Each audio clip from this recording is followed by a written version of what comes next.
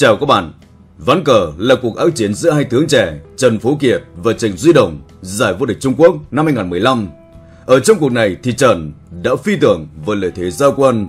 Trần thấy vậy pháo tám quá cung. Trần quyết định chốt đề pháo để chuẩn bị cho mưu đồ gì. Trần mã tám nhảy lên, thì Trần đã trả lời đưa pháo chém chốt qua sông ngay từ đầu để chuẩn bị mã hai tiến ba. Trần cờ cũng vì vậy mà quy củ hơn cả. Trần dùng chốt ba tấn một. Giờ Trần dùng pháo tám cũng qua sông nốt, tạo ra một cuộc diện khốc liệt và hấp dẫn ngay từ đầu. Lưỡng pháo của hà. Trần Duy Đồng mã 2 tiến 3. Và tiếp theo, Trần lại dùng pháo tám bình bảy đè chặt luôn cả mã còn lại. Một thế khơi Trần khó chịu vô cùng. Trần Duy Đồng tưởng 7 đã tiến 5. Giờ Trần đưa ngược đầu tiên phát triển. Trần lấy C1 bằng 2. Thì Trần tức khắc dùng mã 8 tiến 7. Trong chính mã thì trình tề nhưng tại vì hai pháo đã qua hà để được cặp mã, cho nên cái giá phải trả. Xe ngựa còn lại đều chậm hơn đối phương một tiên. Tới đây Trịnh Duy Đồng đưa pháo tạt biên, lộ diện trước một đường chủ lực. Và giải quyết của Trần Phú Kiệt lấy xe bằng 8 mời đội quân. Trịnh chẳng còn cách nào lấy xe này tấn đổi.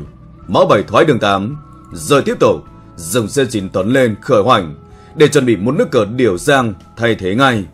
Thấy vậy Trần Phú Kiệt lấy C1 bằng 2 Trần lấy xe 9 bằng sang đánh đuổi Thì mã của Trần lại nhảy ra như ở đường biên ải. Trần Duy Đồng mở chốt biên để kiểm chế thức khác. Trần Phú Kiệt có đưa xe 2 tiến lên cửa hàng Cũng chẳng thể nào tiến chốt mới đổi Rồi đưa mã chín ra Trần Hoặc là tả xe sang đổi cả quân còn lại. Tại vì sao đổi xe Thì Trần Phú Kiệt lại chiếm ưu. Câu trả lời tại vì cả hai pháo áp chế cả hai đầu ngựa Trần Duy Đồng không thể nào nhúc nhích nổi. Tới đây Trần Duy Đồng dùng phó tám tiến qua một mảnh. Trần Phú Kiệt bẩn xe đánh đuổi, chờ mưu khá khó hiểu của đối phương. Thì chỉnh lấy pháo 4 bẩn 2. Thì ra là vậy, quân ngựa đường biên chính là tâm điểm mà Trịnh Duy Đồng khai thác rất triệt để. Thế nên chỉ cần dùng xe 2 tấn thẳng một mảnh, thử hỏi mã chạy đi đâu. Trần Phú Kiệt dùng chốt 3 tấn 1, rồi Trịnh Duy Đồng dùng pháo chém lên chỗ trước. Trần lại si 4 tiến 5. Có lẽ rằng với thứ tự đưa pháo chém chốt biên ổn thỏa hơn rất nhiều so với kích còn lại, tức là xe 2 tiến 6, đánh tử vào quân ngựa đường biên. Lúc đó Trần cũng chỉ cần lấy xe này quay đầu về, nhào pháo, và thành thử dùng một mã nhưng đổi lại một pháo cơ động của đối phương. Trần lại là người được lợi. Còn nước cờ gác dĩ này chỉ cần lấy xe quay về một phòng ngự mà thôi. Cho nên Trần Duy Đồng chưa ra tay vội, mã 3 tấn 1. Trần Phú Kiệt lại bần pháo vào, chuẩn bị bịt eo tường cánh bên kia và dùng chốt ba tiến một lao lên tiến công vào cánh còn lại. Cả một hệ thống binh chủng, xe, pháo, vỏ mã, chỉnh đều tập kết ở hữu cánh cả. Cho nên kỵ binh còn lại cô độc ở cánh bên kia là điều không thể nào tránh khỏi. Làm sao để lưỡng toàn? Trần tới đây đưa chốt ba qua sông, Trình sẽ mấy hồi vất vả. Trình Duy động xe 2 tiến cửa hạ ngay. Vậy thì nước cờ này có can hệ gì với thủ đoàn dùng chốt 3 tấn 1 của đối phương?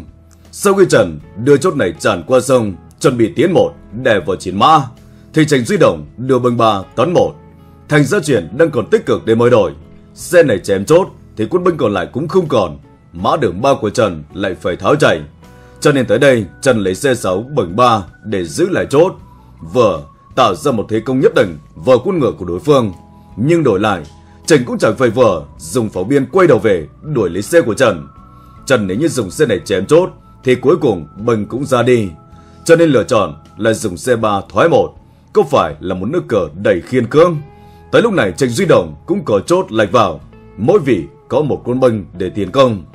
Và Trần dùng chốt này tiến một, đe dọa, mã rút chạy về đường biên, rồi lại đưa pháo chém thẳng ra, nhân tiền đe ngược vào binh trung lộ, C4 tiến 5, và tiếp theo lại lắp binh vào. Trần Duy Đồng, xe 2 bằng đường 8, và Trần lấy pháo 7 tạt đường 8 ngay. Với lời chọn này thì Trần đang cần tìm cách giam cầm vào mã biên của Trần Duy Đồng, không cho mã một tiến ba, hay còn chờ đợi cho âm mưu có thể lao pháo lên quấy rối Trần Địa. Trần Duy Đồng mã một thoái về đường hai ngăn cản, và Trần dùng xe ba tiến một mảnh tiến công vào ngựa còn lại. Chẳng còn cách nào để bảo toàn cả, ngoài phương kế duy nhất mã chín thoái về đường bảy, Giờ Trần dùng băng thủ tiêu vào trung lộ. Cuộc cờ và mã chốt đánh với nhau trên một bàn hoàn toàn dày đặc, cho nên những mối kiềm chế nhất định những biến cờ phát sinh tạo ra một cục diện hấp dẫn hơn cả. Tới đây Trần Duy Đồng dùng pháo hai thoái một. vừa tìm cách làm cho chiến xe của Trần không thể nào tùy nghi để di chuyển. Và nhắc thấy quân mã đường ba cũng chẳng còn có lộ nào để ra được Trần cả. Tới đây, Trần lại dùng xe quay đầu về. Và Trần Duy Đồng lấy pháo tiến một. Chuẩn bị là dùng pháo này tiêu diệt vào mã, rời vác pháo vỗ thẳng vào trung tâm. Một đổi lấy hai. Cho nên Trần lấy tưởng thoát về ngay. Trần Duy Đồng mã bảy tiến đường 8. Trần lại bẩn xe sang kích đổi. Thầy Trình không đổi xe, dùng xe 8 bằng đầu 7. Có lẽ cũng chỉ vì một lý do vô cùng dễ hiểu.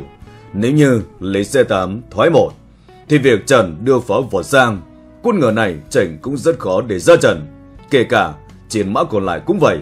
Nhưng được cửa phong tỏa của đôi pháo bên Trần Phú Kiệt là rất uy lực. Bởi vậy, như đã bàn, Trình tới đây lấy xe 8 bằng 7 vừa thoát. Cũng là đổi, nhưng là đổi mã. Và quân ngờ này chẳng còn có cách nào tốt hơn cả. Tại vì phóng chạy đi quân tưởng phía sau hở sườn đã có đành lấy xe tiến một đoạt mã đối phương. Trần Duy Đồng cũng vậy, dùng xe chém thẳng lên, nhân tiện đe luôn cả tường. Tưởng 3 tiến 5, rồi lại đưa pháo vỗ thẳng vào. Đây là lợi ích thu về của anh đã được toàn tính kỹ càng, chuẩn bị xe 7 tấn 2 sát cục. Bởi vậy Trần đưa tướng quân trốn chạy. Giờ Trần lại dùng xe quay đầu, một là nhòm chốt, hai là chuẩn bị đe dọa như bình thường. Binh này tấn một thoát thân ngay. Trần Duy Đồng lấy tiểu năm thoái về đường 7, phòng ngự. Giờ Trần dùng xe quay đầu, nhòm lấy chốt, thì pháo thoái một.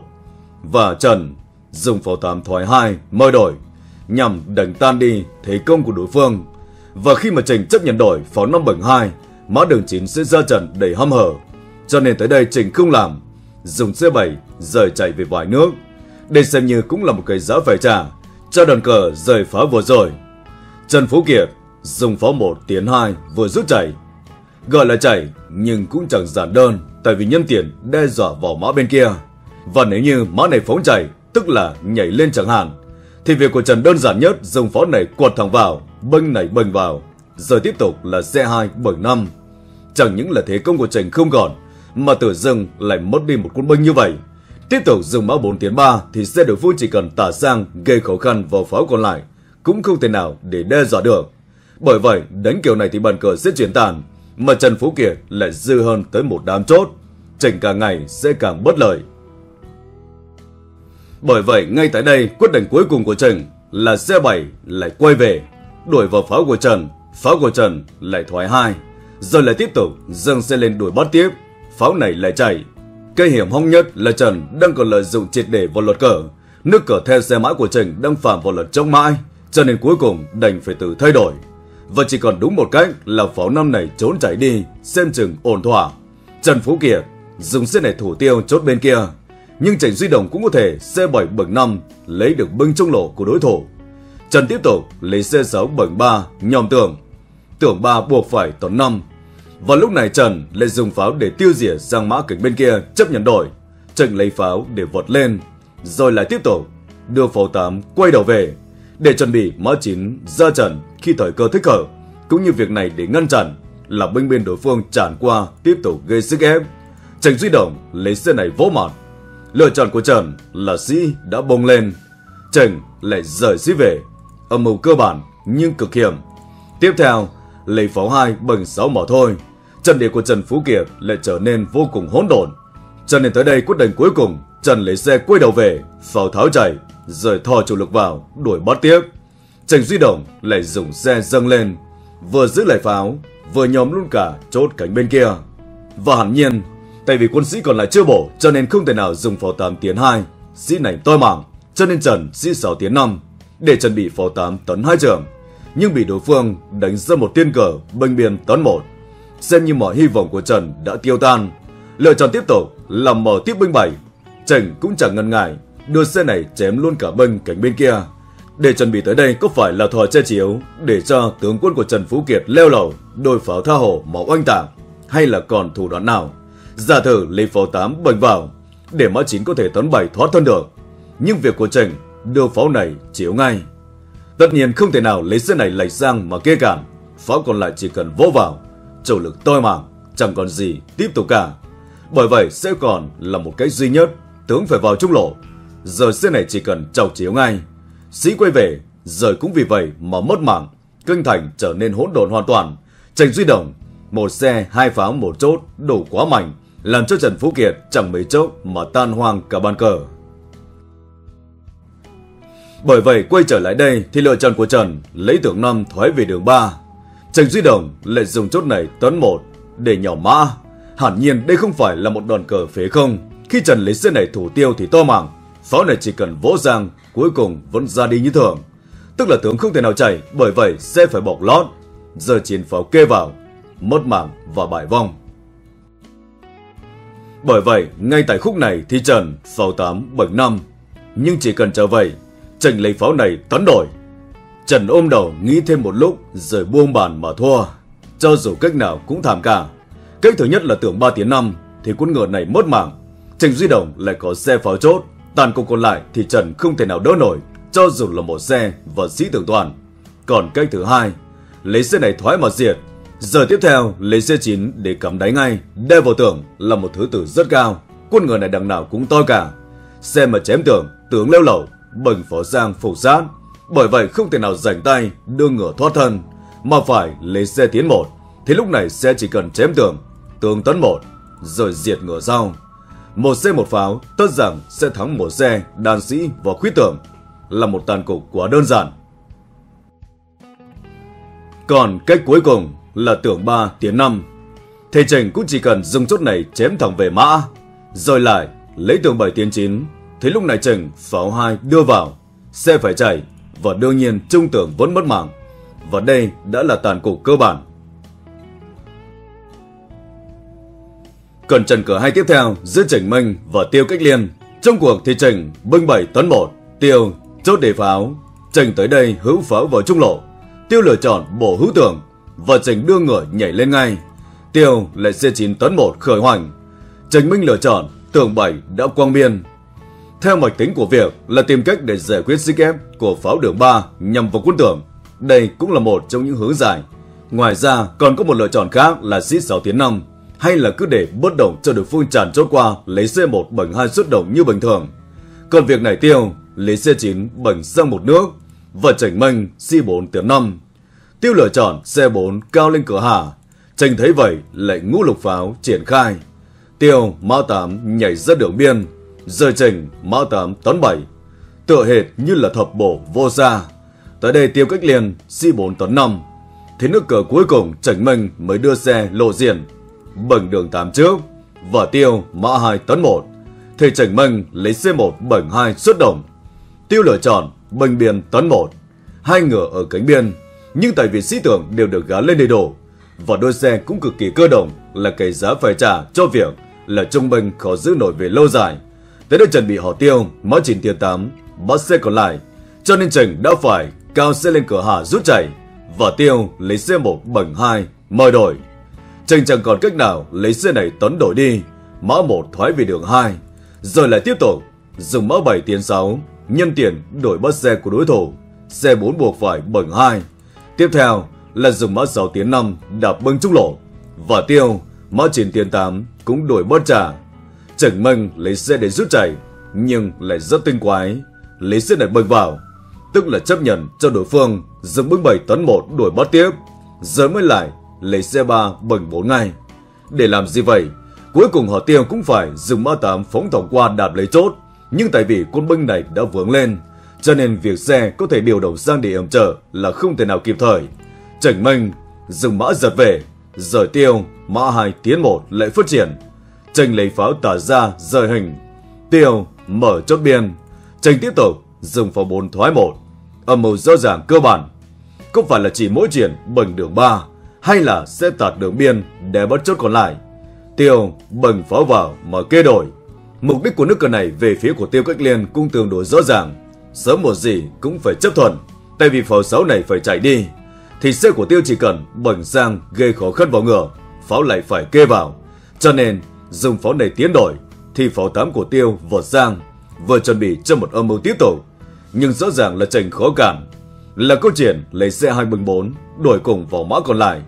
Trần Minh dùng pháo 4 bằng 3 nhòm mã của Tiêu trước. Tiêu bằng xe qua thì lại dùng mã 6 thoái 7 chứ sao cũng phải làm. Giờ Tiêu tới đây lấy xe 4 tả sang một nước, mời đổi. Nhưng chính việc này lại để ra một hệ lụy chết người. Trần Minh đưa C4 bẩn 2 rút chạy đúng lộ quân lại. Tránh voi chẳng hồ một nào. Tới đây làm sao con ngựa có thể còn chỗ mà đi. Câu trả lời duy nhất của Tiêu chỉ có thể dùng pháo dâng lên yểm trở. Nhưng chốt đối phương làm ngòi. Cho nên binh năm chỉ cần tiến một thoát thân vội. Giờ Tiêu, C6 tiến 2.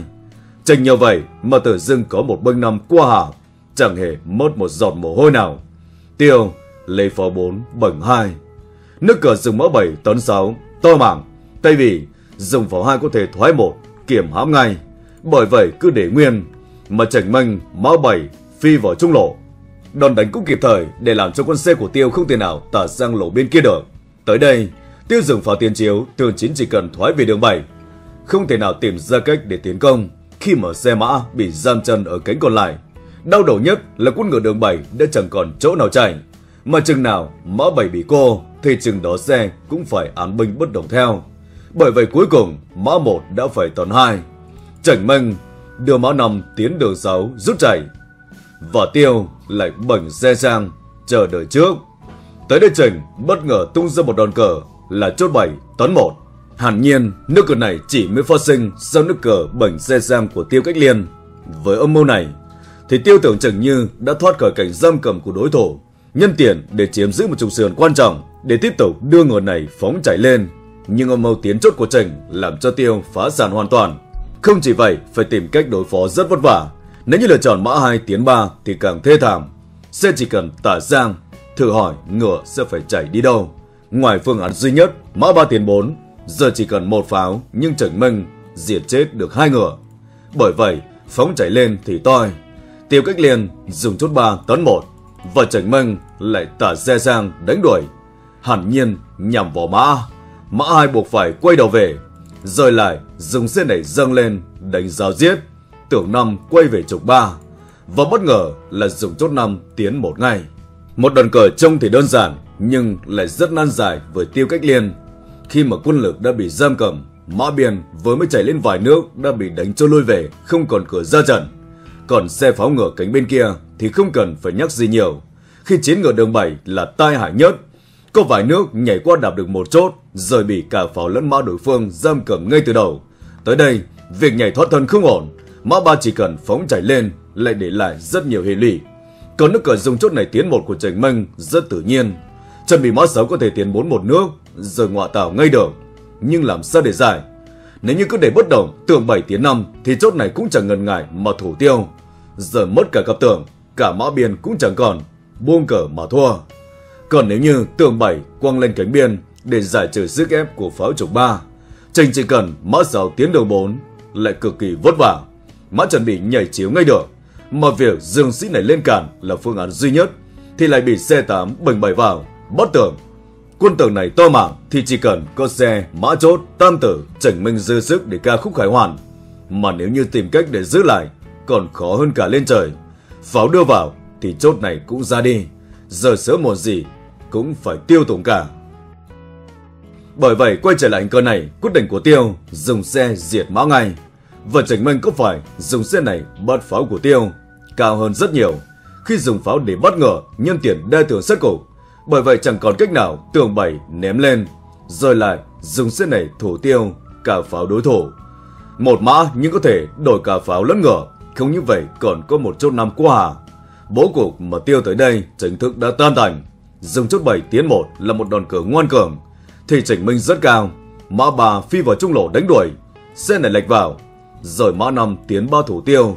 Chấp nhận là tiêu cách liên dùng xe này chém lại chốt của mình. Trần Minh điều xe một nước. Tiêu cách liên đưa ngựa phóng chạy lên. Trình tiếp tục, nhảy mã thúc tới. Vừa chuẩn bị cho một nước cờ cực hiểm là mã 4 tiến 3. Nhưng làm sao để cản? Nếu lựa chọn sĩ này tấn lên thì pháo cũng chỉ cần dâng lên một đuổi.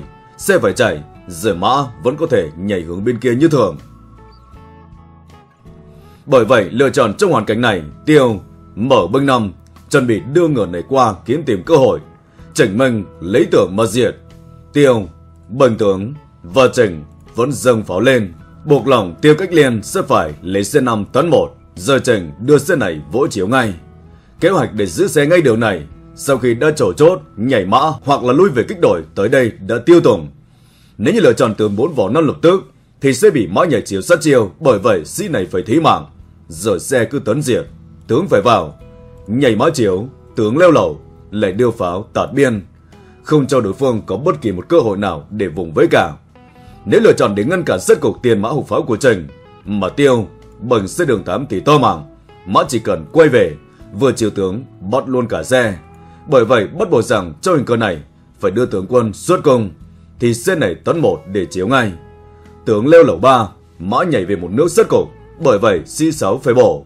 Thì Trình Minh đưa pháo tiến hai tiểu buông cờ nhận lên phần thất bại.